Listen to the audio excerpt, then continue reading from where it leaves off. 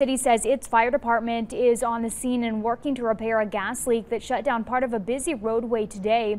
The city of New Bern says the gas leak is in the 1800 block of Trent Boulevard and that section is shut down temporarily as New Bern Fire Rescue works to fix the leak.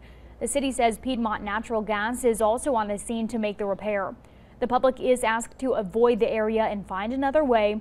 People who live near the hot zone have been evacuated according to the city and others that are nearby have been told to shelter in place.